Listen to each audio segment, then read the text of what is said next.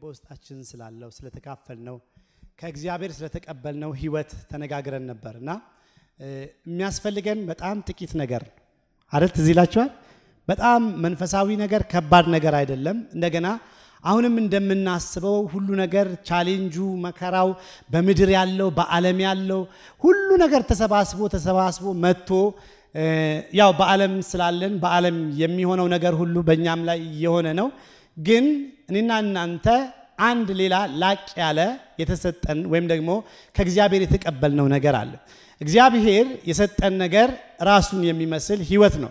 ለዚህ ነው መጽሐፍ ቅዱሳችን ሲናገር ለእውነተኛ መንፈሳዊ ህይወት ወይም ደግሞ እግዚአብሔርን ለመምሰል የሚያስፈልገው ነገር ሁሉ የመለኮቱ ኃይል ሰጥቶናል። ስለዚህ ከእግዚአብሔር ያልተቀበልነው የለም። ለዚህ ነው አሁን እግዚአብሔር እንደ አዲስ መጥቶ እኔና እናንተ በመከራችን በኑሯችን ኡኡ ስንል እየመጣ የሆነ ነገር እየሰበረ መከራችንን ከፊታችን እያስወገደ እያሳለፈን አይደለም። ለዚህ ነው በብዙ ነገር እናልፋለን፣ በብዙ ነገር እንጮሃለን። አንዳንድ ጊዜ ጾም ጸሎትም እንይዛለን። እግዚአብሔር የለም ወይ እስከሚባል ድረስ በብዙ በእግዚአብሔር ፊት እንቀርባለን። እንደገና ሃይማኖቱም ያለውም ጸሎቱም ምኑም ነገር እግዚአብሔር እንደጠፋበት አምላክ እንደሌለው ይሆናል። እግዚአብሔርም ደግሞ አንዳንድ ጊዜ ልክ ልቡ ራርቶ እንደው እንደዚህ በዚህ መከራ ውስጥ በዚህ ነገር ውስጥ ከሚያልፉ አንድ ጊዜ መጥቼ ወይም እነሱን ወይም መከራውንም ላንሳ አይለንም። ለምንድን ነው ይሄ ሁሉ እያለፍን ወይም በእነዚህ ነገራቶች ሁሉ ውስጥ እያለፍን እግዚአብሔር ዝም እያለን ነው ወይስ ደግሞ ምንድን ነው የሆነው ነገር? የሆነው ነገር ኢየሱስ እንዳለው ነው። በጣም የሚያስፈልገው በብዙ ነገር ትዋከባላችሁ፣ በብዙ ነገር ትጨነቂያለሽ። የሚያስፈልገው አንድና ጥቂት ነገር ነው። ብዙ ነገር አያስፈልገንም። በእርግጥ ብዙ ነገር የሚያስፈልገን ነገር ቢሆን ኖሮ አሁንም ተጠያቂው እግዚአብሔር ይሆን ነበር። ግን እግዚአብሔር በአንዳች ነገር አይጠየቅም። እግዚአብሔር ጻድቅ አባት ነው። ያልሰጠንን ነገር ደግሞ ወይም ደግሞ ያልሰራውን ነገር ደግሞ ወይም አሁን እኔና እናንተ ስንጮ ዝም የሚል ከሆነ በእርግጥ እግዚአብሔር ከምናመልከው ወይም ደግሞ ሌላ አምላክ ብናመልክ ይሻል ነበር። ነገር ግን እግዚአብሔር ለሕይወት የሚያስፈልገንን ነገር ሁሉ ሰጥቶናል። እኛም ደግሞ ተቀብለናል። ጌታን መቀበል ማለት የሃይማኖት ስራ መፈጸም አይደለም አይደል? ሁላችንም በቃ ጌታን ተቀብለናል። ሁል ጊዜ እንደምናወራው ወይም ደግሞ ከዚህም ወጥተን እንሰብካለን። ወንድሜ ጌታ ይሻልሃል፣ እህቴ ጌታ ይሻልሻል፣ ጌታን ብትቀበል እንላለን። okay፣ ጌታን መቀበል ምን ማለት ነው? በእርግጥ የተቀበልነው ነገር ምንድን ነው? የተቀበልነው ነገር ስለሌለ ነው ወይ አሁን እንደዚህ አይነት ኑሮ እየኖርን ያለ ነው የሚለውን ነገር አይተናል። ዛሬ ስለ ለውጥ ደግሞ እንመለከታለን። ምክንያቱም ለውጥን ሁላችንም እንፈልጋለን። ለውጥን የማይፈልግ ለውጥን የማይሻ ሰው የለም። እኛ ብቻ ሳንሆን ዳግም የተወለድን ብቻ ሳንሆን ሰው በመሆኑ ሰው ሁሉ ለውጥን ይፈልጋል። እኔና እናንተ ግን የእውነት ለውጣችን ምን አይነት ለውጥ ነው? እነሱም ለውጥን ይፈልጋሉ። ለውጥ የምንፈልገው ሰው ስለሆንን ወይም ደግሞ ነፍስ ስላለን ነው። ነፍሳችን መለወጥ አለባት። ብዙ ነገር ትፈልጋለች። የኔና የናንተ ለውጥ ከየት ይመጣል? ወይም ደግሞ ለውጣችን ምንድን ነው? በምን መልኩ ነው የምንለወጠው የሚለውን መጽሐፍ ቅዱሳችንን ሮሜ መጽሐፍ ምዕራፍ 12 ቁጥር ሁለት ከሱ ተነስተን እንመለከታለን። እንደዚህ ይላል፣ መልካም ደስ የሚያሰኝና ፍጹም የሆነውን የእግዚአብሔርን ፍቃድ ምን እንደሆነ ፈትናችሁ ታውቁ ዘንድ ምን ታረጉ ዘንድ ፈትናችሁ ታውቁ ዘንድ በአእምሯችሁ መታደስ ተለወጡ እንጂ ይህንን ዓለም አትምሰሉ። እዚህ ውስጥ ምንም አይነት የእግዚአብሔር ኃላፊነት የለበትም አይደል? እግዚአብሔር እኔ እለውጣችኋለሁ አንድ ቀን ትለወጣላችሁ ሳይሆን መልካም ደስ የሚያሰኝ ፍጹምም የሆነውን የእግዚአብሔርን ፍቃድ ምን እንደሆነ ፈትናችሁ ታውቁ ዘንድ በአእምሯችሁ መንፈስ ወይም በልባችሁ መታደስ ተለወጡ እንጂ ይህንን ዓለም አትምሰሉ። ወይም ደግሞ እነሱ እንደሚለወጡት አትለወጡ። እነሱ የሚለወጡበት መንገድ አለ፣ እኔና እናንተ የምንለወጥበት መንገድ አለ። ስለ ለውጥ ሲናገር ለውጥን ያስቀመጠው ታውቁ ዘንድ ይላል። እስቲ አውቅ ዘንድ በሉ። ስለዚህ ለውጥ ማለት ማወቅ ነው። ብዙ ጊዜ ግን ለውጣችንን የምንፈልገው ከውጭ ነው። ለውጣችን እኛ ለውጥ ከሌለበት ወይም እግዚአብሔር ለውጥ ብሎ ካላስቀመጠበት ቦታ ለውጣችንን እየፈለግን እንሄዳለን። ነገሩ ደግሞ እስካላገኘነው ድረስ እውነተኛ ለውጥን አንለወጥም። የተለወጥን ሊመስለን ይችላል። ብዙ ጊዜ ለውጥን የምናየው ከውጪ ነው። እግዚአብሔር ግን ለሰው ልጆች መቼም ቢሆን ለውጥን ከውጭ አላስቀመጠም። ወይም ደግሞ እኔና እናንተን የሚለውጥ ምንም አይነት ኃይል የለም። ከውጭ መጥቶ እኔን የሚለውጥ ከእናንተ ውጭ መጥቶ እናንተን የሚለውጥ እንደምናስበው ደግሞ ብዙ ጊዜ ለውጥ የሚመስለን material ነገር ነው። ወይም ደግሞ በስጋ እንደምናስበው አንድ ሰው ተለወጠ፣ አንድ ሰው ተቀየረ የሚባለው ያሰበው ነገር ወይም ደግሞ ፕላን ያደረገው ነገር ልክ ሲደርስለት ወይም ገንዘብ ሲያገኝ፣ መኪና ሲነዳ፣ በአካል ደግሞ ሲወፍር ወይም ሲቀንስ የሆነ ነገር ሲሆን ብቻ ተለወጠ ይባላል። እግዚአብሔር ግን ለሰው ልጆች ለውጥን ያለው እሱ አይደለም። ይኸውላችሁ የማይለወጥ ዘላለማዊ ሕይወት በእኔና በእናንተ ውስጥ ካስቀመጠ በኋላ ይህንን ሕይወት እንኖር ዘንድ በእኔና በእናንተ ውስጥ በሕይወት የሰጠንን እግዚአብሔር ማወቅ ይገባናል። የተሰጠንን ነገር በማወቅ እንለወጣለን እንጂ አዲስ ነገር በማግኘት አንለወጥም። ስለዚህ ሁላችንም ስናስብ ከዚህ ቀደም እንደዚህ አስባችሁ ሊሆን ይችላል። እግዚአብሔር አንድ ቀን መጥቶ እንደሚለውጠን ወይም ደግሞ የሆነ አገልጋይ ልኮ እንደሚለውጠን የሆነ ነገር አግኝተን እንደምንለወጥ አንድ ቀን ደግሞ ቀን ደርሶ እንደምንለወጥ ልናስብ እንችላለን። ለዚህ ነው መጽሐፍ ቅዱሳችን አስጠንቅቆ የሚነግረን ስትለወጡ ወይም ደግሞ መለወጥ ስታስቡ የኔና የናንተ ለውጥ ያለው የእግዚአብሔርን ፍቃድ በማወቅ ውስጥ ነው። የእግዚአብሔር ፍቃድ ደግሞ በጣም በጎ ነው። የእግዚአብሔር ፍቃድ ደስ የሚያሰኝ ነው። የእግዚአብሔር ፍቃድ ፍጹም የሆነ ነው። ስለዚህ የእግዚአብሔር ፍቃድ ካላወቅን እኔና እናንተ መለወጥ አንችልም። ወይም ደግሞ የተለወጥን ሊመስለን ይችላል። እግዚአብሔር ለውጥ የሚለውን ለውጥ አንለወጥም። እግዚአብሔር ግን እንድንለወጥ የሚፈልገው እግዚአብሔር ለውጥ ባለውን ነው። ለውጥ እንዳትረሱ ታውቁ ዘንድ ወይም ደግሞ አውቅ ዘንድ ካላወቅን አሁንም አንለወጥም። ወይም ደግሞ የዓለምን መንገድ እንዳትከተሉ ዓለም ለውጥ የምትለውን ሰዎች ለውጥ የሚለውን ነገር እናንተ ለውጥ ብላችሁ አትጥሩ። መለወጥ ማለት እሱ የሰጠንን ማወቅ ነው። ወይም ደግሞ የእግዚአብሔር ፈቃድ እሱን ማወቅ ነው። የእግዚአብሔር ፈቃድ ብዙ ፍቃድ የለውም። እግዚአብሔር አንድ ፍቃድ ነው ያለው። ያ ፍቃድ ለሰው ልጆች ሕይወት ይባላል። ሕይወትን ከሰጠን በኋላ በእኔና በእናንተ ውስጥ ያስቀመጠው ሕይወት በዛ ሕይወት ደግሞ እንኖር ዘንድ እግዚአብሔር ይፈልጋል። ይላችሁ እግዚአብሔር ሕይወትን ሊሰጠን አይደለም የፈለገው በሕይወት እንኖር ዘንድ ነው እንጂ እሱ የተቀበልነውን ሕይወት ከዚህ ቀደምም ተናግር ያለው የሚያስቀናን ሕይወት አይደለም የሰጠን እግዚአብሔር የሚኖርን ሕይወት ነው የሰጠን። ግን እንዳንኖር የሸፈነው ነገር አለ። የሸፈነን ነገር ደግሞ ሌላ ነገር አይደለም። ስለዛ ሕይወት ያለን ግንዛቤ ነው። ዛሬ ግንዛቤያችንን ካልቀየርን አስተሳሰባችንን ካልቀየርን በእርግጥ እንደ ሰዎች ልንኖር እንችላለን። እግዚአብሔር ደግሞ እንደ ሰዎች እንድንኖር አልፈለገንም። ትዝ ይላችኋል አንደኛ ጴጥሮስ ምዕራፍ አራት ቁጥር ስድስት በሥጋ እንደ ሰዎች ሊፈረድባችሁ ይችላል አለ። በመንፈስ ግን እንደ እግዚአብሔር እንኖር ዘንድ ወንጌል ለፍጥረት ተሰበከ። ስለዚህ የተፈለገው በሕይወት እንድንኖር ነው። እግዚአብሔር በሰጠን ነገር ራሳችን እንድናስለምድ ነው። ራሳችን ኃላፊነቱን ደግሞ ካልወሰድን የሚለውጠን ምንም ኃይል የለም። አማኞችን የሚለውጥ ነገር የለም። አሁን መለወጥ ስንል ሌላ ነገር እንዳታስቡ። መለወጥ ማለት የተሰጠንን ነገር ማወቅ ማለት ነው። ኢየሱስን እስቲ ተመልከቱት። መጽሐፍ ቅዱሳችን ስለ ኢየሱስ ሲናገር ኢየሱስ ክርስቶስ በጥበብ በሞገስ አረን በእግዚአብሔርና በሰው ፊት ያድግ ነበር አለ። እንዴት ነው በእግዚአብሔር ፊት በሰው ፊት እሺ በቁመት ያድጋል። በእግዚአብሔር ፊት ያድግ የነበረው እንዴት ነው? እሱ ያደገበትን አስተዳደግ እናድግ ዘንድ ነው አረን በጠቀላሉ ነገር አንድ ነገር ላሳያችሁ። መጽሐፍ ቅዱሳችንን የዮሐንስ ወንጌል ምዕራፍ 8 ቁጥር 42 ዛሬ እኛም ልክ እንደዚህ እንድናድግ ነው እግዚአብሔር የሚፈልገው። እንደዚህ ይላል፣ ኢየሱስ እንዲህ አላቸው። ቁጥር 42 ምዕራፍ 8 ቁጥር 42 ኢየሱስ እንዲህ አላቸው፣ እግዚአብሔር አባታችሁ ቢሆን ኖሮ እኔ ከእግዚአብሔር ወጥቼ መጥቻለሁና በወደዳችሁኝ ነበር። እርሱ ላከኝ እንጂ በገዛ ራሴ አልመጣሁምና። እዚህ ቦታ ላይ ኢየሱስ ክርስቶስ ስለ ራሱ የተናገረው ነገር ነው። ሁል ጊዜ ስለ ራሱ ሲናገር እሱ እርግጠኛ ነበር። ይላችሁ መለወጥ ማለት እንዳልኳችሁ ስለ ራሳችን እውነተኛ እግዚአብሔር የሚያውቀውን ማወቅ ማለት ነው። ስለ ሰዎች አይደለም፣ ስለ ነገሮች አይደለም። የሚቀድመው ስለ ራሳችን ማወቅ ነው።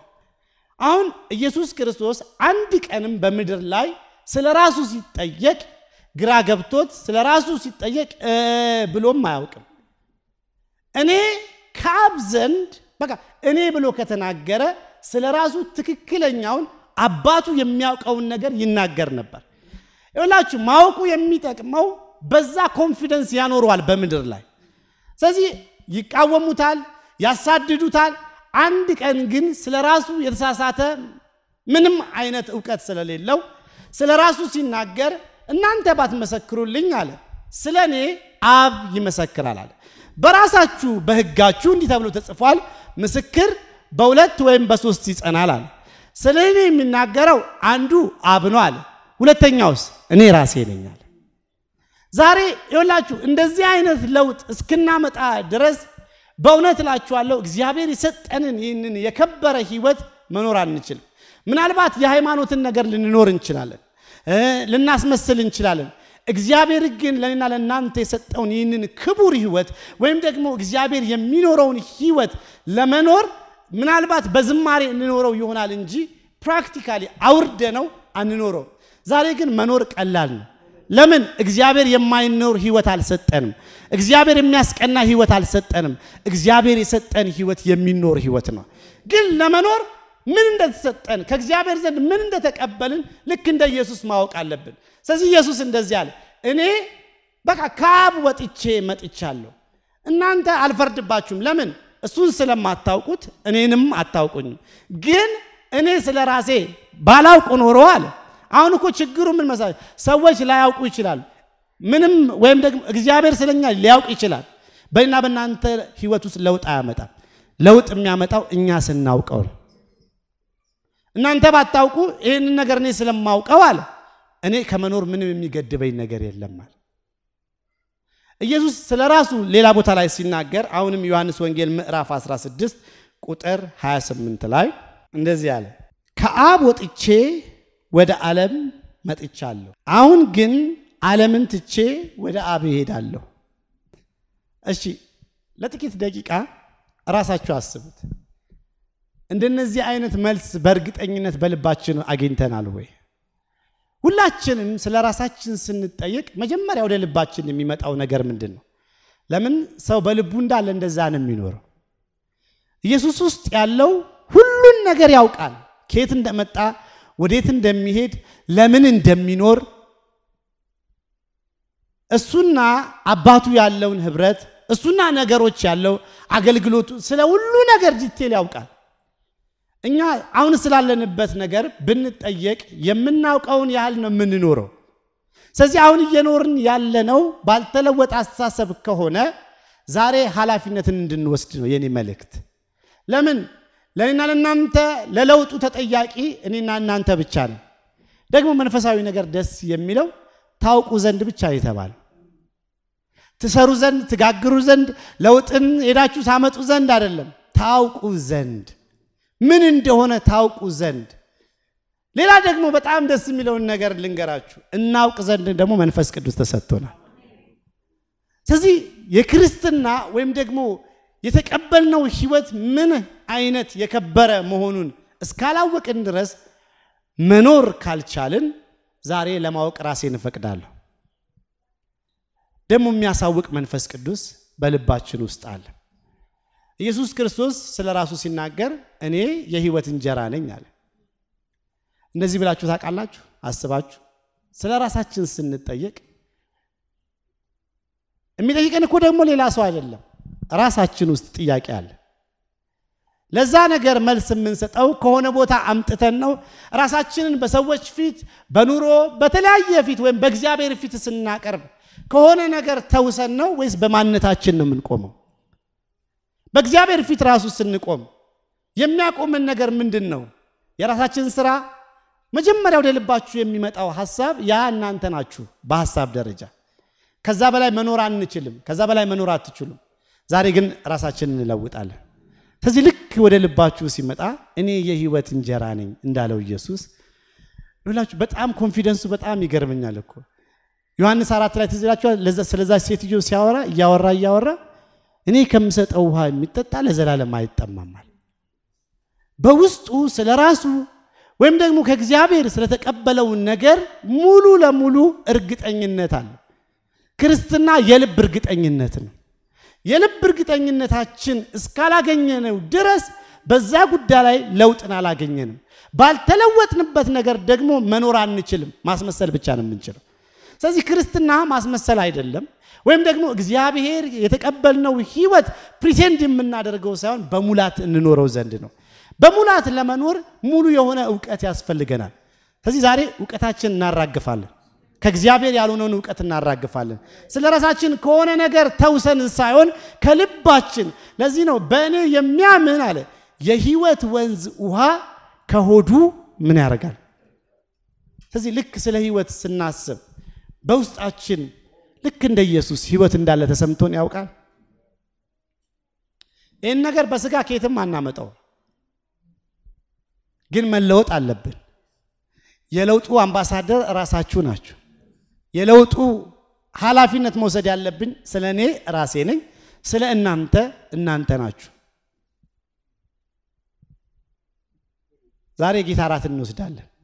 የምንወስደው በአንድ ነገር ተስማምተን አውቅ ዘንድ አይኖቼ ይበሩ ዘንድ በእምነት ነው የምንወስደው።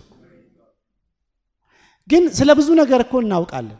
ስለ ራሳችን ምንድን ነው የምናውቀው? ስለ ራሳችንም እኮ እውቀት አለን። የተሳሳተ እውቀት ነው። ለምን? ስለ ራሳችን ትክክለኛ ነገር የነገረን እግዚአብሔር ነው። አሁን ያሳያችሁ ኢየሱስ ሁል ጊዜ ሲቆም ራሱን አስመልክቶ ምንም አይነት ስህተት የለውም። ወይም ኢየሱስ ረዳት ሲፈልግ አይታችሁ ታውቃላችሁ?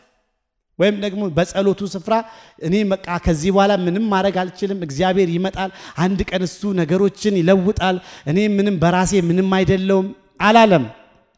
እኔ ካለ የህይወት እንጀራ ነኝ።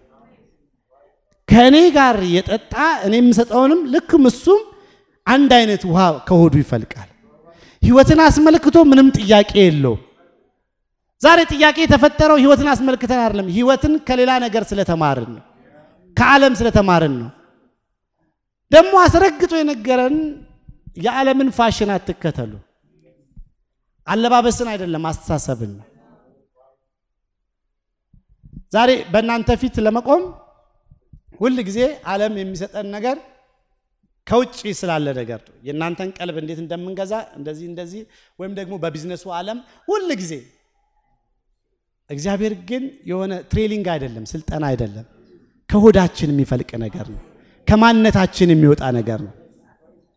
ማንነታችንን እስከምናውቀው ድረስ ግን ለውጥ አሁንም ሌላ ነገር እንዳታስቡ። ለውጥ ወደ አገልግሎት መለወጥ አይደለም፣ መስበክም አይደለም ለውጥ ለምን እግዚአብሔር የሰጠን ህይወት እንኖረው ዘንድ ነው። ስለዚህ ዛሬ ስለ ራሳችሁ ቆም በሉና አስቡ። መለወጥ አለብን። ስለ ለውጥ እንስማማለን። በምን ጉዳይ ነው የምንለወጠው? ብዙ ነገር መለወጥ እንችላለን። ከመቻላችን በፊት ግን ራሳችን መለወጥ አለብን። ከዛ ኢየሱስ እኔ የህይወት እንጀራ ነኝ፣ እኔ ውሃ ነኝ። እኔን ከጠጣ ደግሞ ያ ሰው አንድ አይነት ህይወት ከውስጡ ይፈልቃል። አሁንም እኛ ቆመን በኮንፊደንስ ከእኔ ውስጥ የሚወጣው ህይወት ነው ብለን ማሰብ አለብን። ደግሞ እውነት ስለሆነ እኮ ነው። ፕሬዝ ጋድ። እስቲ ህይወት ከኔ ይወጣል በሉ። እንዳልኳችሁ ትምህርት አይደለም፣ ማንነታችን ነው። እግዚአብሔርን ለመምሰል ለእውነተኛ መንፈሳዊ ህይወት የመለኮቱ ኃይል ሰጥቶናል። ተቀብያለሁ በሉ። እውነታው እዛ ነው። ይህንን ግን እውነት በልባችን እርግጠኛ እስክንሆን ድረስ እስክናውቀው ድረስ የኔና የናንተ ለውጥ ያለው እዛ ጋር ነው። አንድ ነገር ነው ኢፈርታችን ለማወቅ ነው፣ ለመስራት አይደለም። ህይወትን ለማምጣት አይደለም። ህይወት በልባችን አለ። ህይወት በእኔ ውስጥ አለ። ግን ህይወትን ከደጅ ካልጀመርን እርካታ የሚባለውን ነገር አናገኝም። ኢየሱስ ግን ሲናገር ደግሞ አይጠማም። ለምን? በቃ already satisfied ሆኗል። ህይወትን አስመልክቶ የሚፈልገው ነገር የለም።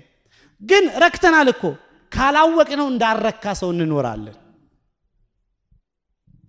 ሰማይ ስንሄድ አዲስ ህይወት የለም እኮ የተሰጠንን ነገር በሙላት እናውቃለን። ዛሬም ግን ማወቅ እንችላለን። እንዴት? እናውቅ ዘንድ መንፈስ ቅዱስ ተሰጥቶናል። ከእግዚአብሔር የሆነውን እንዲሁ በነፃ እናውቅ ዘንድ ከእግዚአብሔር የሆነው ሌላ ነገር አይደለም፣ ህይወት ነው የተሰጠን። ስለዚህ ዛሬ እርዳታ ፍለጋ ሌላ ቦታ አትሂዱ። ራሳችሁን የምትረዱት ራሳችሁ ናችሁ። ረዳትነታችሁ ደግሞ በሌላ ነገር አይደለም፣ በማወቅ ነው። ለማወቅ ደግሞ መስማት ነው የሚጠበቀው። መንፈስ ቅዱስ ረዳታችን ነው።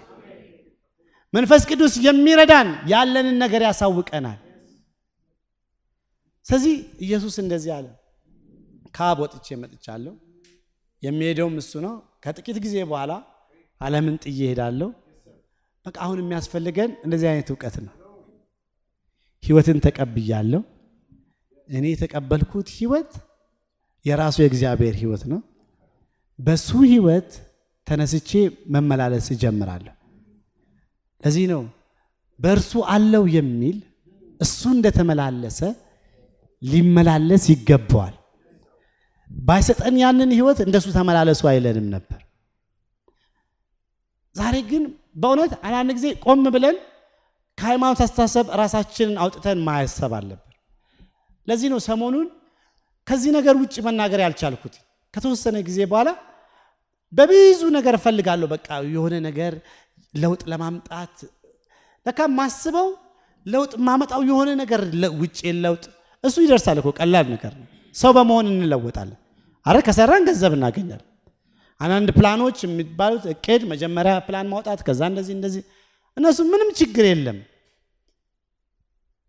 ግን እውነትን ወይም የተሰጠንን ህይወትን በማወቅ መለወጥ ደግሞ የሚያክለው ነገር የለም። ለምን? እግዚአብሔር የፈለገው ያህንን ነገር ነው። እንዳልኳችሁ ከሰራን እንለወጣለን፣ ገንዘብ እናገኛለን፣ ቤትም እንገዛለን፣ ኑሯችንን እናሻሽላለን፣ የተለያየ ነገር። በእርግጥ ግን እግዚአብሔር እሱን ለውጥ ይለዋል ወይ? ስለዚህ አሁን ቤተ ክርስቲያን ተለውጦ ምስክርነቱም ሁሉም ነገር በፊት እንትን የለኝም ነበር፣ አሁን እንትን አገኘው። ትዳር የለኝም ነበር፣ ትዳር አገኘው። ልጆች አገኘው፣ ገንዘብ አገኘው። እግዚአብሔር ከዛ ያልፋል። እግዚአብሔር የሰጠን ህይወቱን ነው። ፕሬዝ ጋድ። ስለዚህ በጣም መታገል አቆምኩና ህይወት በልቤ ውስጥ አለ። ከረካን ከእርካታ ተነስተን የምንኖረው ኑሮ በጣም ቀላል ነው። ከዛ ተነስተን መስራት እንችላለን። ከዛ ማትረፍ እንችላለን። ብዙ የምንላቸውን ነገሮች ማገልገልም፣ እያንዳንዱ ነገር ከዛ ከሞላው ከተረፈው የሚወጣ ነገር ከሆነ ደግሞ ያ ነው ስኬት፣ ያ ነው ለውጥ። ግን መጀመሪያ እውነት ይህንን ህይወት እየኖር ነው ነው ወይ? ዛሬ በዚህ እንለወጣለን። ኤፌሶን ምዕራፍ አንድ ደስተኞች ናችሁ? ደስታ ውስጣችን አለ። ያ ነው የህይወት ክፍል። praise God ደስ? በቃ ካሰብነው እኮ ዝም ብሎ መኖር። አንዳንድ ጊዜ ስጋ አይ ሁል ጊዜ በቃ በጌታ ደስ ይበላችሁ። ይሄ ደግሞ ጥቅስ አይደለም፣ እውነት ነው። ካሰብንበት በትክክል እውነትን ከተረዳ እግዚአብሔር እኮ የፈለገው በእውነት እንኖር ዘንድ ነው። እውነት እውነቴን ነው እውነቴን ነው የምንለው ሳይሆን እግዚአብሔር ልብ ውስጥ ያለው እውነት። እሺ ከዚህ ጋር የምንማረውን ሁላችሁም ሳውራ ተደጋግሞ የተጠቀሰውን ነገር እስቲ በደንብ አስቡ። ከ15 ጀምሮ ኤፌሶን ምዕራፍ 1 ቁጥር 15 ስለዚህ በጌታ ኢየሱስ ስላላችሁ እምነትና ለቅዱሳን ሁሉ ስላላችሁ ፍቅር ከሰማሁበት ጊዜ አንስቶ በጸሎቴ እያስታወስኳችሁ ስለ እናንተ ምስጋናን ማቅረብ አላቋርጥም። ቁጥር 17 የክብር አባት የሆነውን የጌታችን የኢየሱስ ክርስቶስን አምላክ ይበልጥ እንድታውቁ መጽሐፍ ቅዱሳችሁ ላይ ማስመር የለመዳችሁ እንድታውቁ የሚለውን ይበልጥ እንድታውቁ የጥበብና የመገለጥ መንፈስ እንዲሰጣችሁ ያለማቋረጥ እለምናለሁ። እንዲሰጣችሁ ምንድን ነው? የጥበብና የመገለጥ አሁንም ስለ ማወቅ ነው የሚያወራው። ቁጥር 18 እንዲሁም በእርሱ የተጠራችሁለትን ተስፋ ይህም በቅዱሳን ዘንድ ያለውን ክቡር የሆነውን የርስቱን ባለጠግነት ምን እንደሆነ ታውቁ ዘንድ የልባችሁ አይኖች እንዲበሩ። የልባችን አይኖች መብራት ማለት ይህም ማወቅ ነው። እሺ ቁጥር 19 ለእኛ ለምናምነው ከሁሉ በላይ ታላቅ የሆነውን ኃይሉን እንድታውቁ። በቃ ምንም ነገር የሌለም። ጸሎት ራሱ የሆነ ሪፖርት ምናምን አይደለም፣ እንድናውቅ ነው። ህብረት አይደለም ማድረግ። ህብረት ስናደርግ ደግሞ እሱ ብዙ ነገር የሚያውቀው እሱ ስለሆነ ስለ ራሳችንም ስለ ሁሉም ነገር የሚያሳውቀን እሱ ነው። አሁን አዲስ ኃይል ሰጣችኋለሁ አይደለም ያለው፣ ያለውን ኃይል እንድታውቁ ምን አይነት ኃይለኞች እንደሆናችሁ እንድታውቁ ኢየሱስ ክርስቶስን ከሞት ሲያስነሳው የታየው በጣም ታላቅ ኃይል በእናንተ ውስጥ አለ ግን ምን አላወቅ ነው። አሁን ለዚህ ነው የኃይል ጸሎት ኃይል ኃይል እያልን ኖ ኃይሉን እንድታውቁ። ኃይሉ ደግሞ ሌላ ነገር አይደለም የሚሰራው ኃይሉ እሱ እንደኖረ እንድትኖሩ የሚያስችለን አቅም ነው። ኃይል ምንም ነገር የምናንቀሳቅስበት አይደል? የተሰጠንን ኃይል የምናንቀሳቅስበት ወይም የተሰጠንን ህይወት የምናንቀሳቅስበት ይህንን ነገር ታውቁ ዘንድ እጸልያለሁ። ከጸለይኩኝ ሌላ ነገር አልጸልይም። እናንተም ከጸለያችሁ ሌላ ነገር አትጸልዩ። ሁሉ ነገር ተሰጥቷችኋል። ሁሉ ነገር ተቀብለናል። የተቀበልነውን ግን ባለማወቅ እየኖርን ነው። ለዚህ ነው መጽሐፍ ቅዱስ ሲናገር ሁሉን ከተቀበልክ እንዳልተቀበለ ለምን ትመካለህ? የምንኖረው ኑሮ እንዳልተቀበለ ነው የምናዝነው የምናለቅሰው፣ ግራ የምንጋባው፣ በቃ ምንም ተስፋ እንደሌለው የምንሆነው ያን ኑሮ ስንኖር በስጋ እንዳልተቀበለ ሰው እየኖርን ነው። እንደተቀበለ ደግሞ ከሆነ የምንኖረው እሱ እንደኖረ ነው፣ እሱ እንደተመላለሰ ነው። ስለዚህ ታውቁ ዘንድ ያለማቋረጥ እጸልያለሁ። የእውነት የጸሎታችን ብዙ ክፍል የያዘው የትኛው ነገር ነው? ማወቅ ነው ማግኘት ለሁላችሁም በልባችሁ። ዛሬ ግን ስለ ማግኘት ምንም ነገር አይጸለይም። already አግኝተናል። ከእግዚአብሔር የሆነውን አግኝተናል። ሌላ ከዓለም ከምናምን ከስራ ከምናምን እሱን መስራት እንችላለን። ነገር ግን እግዚአብሔርን አስመልክቶ ሁሉን ነገር ተቀብለናል። ከተቀበልክ የተቀበልነውን ስለ ማወቅ ብቻ ነው ከጸለይ ነው። ስለዚህ ዛሬ ማንኛውም ነገር የሚሆነው ነገር የሚሆነው ሁሉ መንፈሳዊ ነገር ከእውቀት ጋር ካገናኘ ነው ወይም ደግሞ ከማወቅ ጋር ካገናኘ ነው ተለወጥን ይባላል። ለውጥን ትፈልጋላችሁ? ለውጥ በውስጣችሁ አለ። የሚለውጥ መንፈስ ቅዱስ ነው። ምን በማድረግ ታውቁ ዘንድ ይነግረናል። ስለ አባታችን እናውቅ ዘንድ፣ ስለ ራሳችን እናውቅ ዘንድ፣ ስለ ኃይሉ እናውቅ ዘንድ ሁሉ ነገር በሙላት በእኔና በእናንተ ውስጥ አለ። ስለዚህ የጎዳን ሌላ ነገር አይደለም፣ የጎዳን ሃይማኖት ነው። ዛሬ ከስርዓቱ እንወጣና በእውነት ለምንድን ነው እንደዚህ አይነት ኑሮ ያልኖርኩትኝ? ስለዚህ መለወጥ አለብኝ። ለውጥ ደግሞ የአንድ ቀን አይደለም። ለውጡ የነፍስ ስለሆነ ዕለት ዕለት የምንለወጠው ነው። ግን ስለ ለውጥ ስናስብ መጀመሪያ መለወጥ መለወጥ ያለብን ያለንን ነገር በማወቅ ነው። የእግዚአብሔርን ፍቃድ በማወቅ ነው። በጎና ደስ የሚያሰኘው እሱ ምንድን ነው? መዳናችን ነው። መንፈስ ቅዱስ በውስጣችን አለ። ስለዚህ የሚያስፈልገው ጥቂት ነገር አይደል? ከባድ ነገር ነው። ዛሬ ጌታ ይመጣል ከምንል አይደል? already በልባችን ያለውን ነገር እናውቃለን።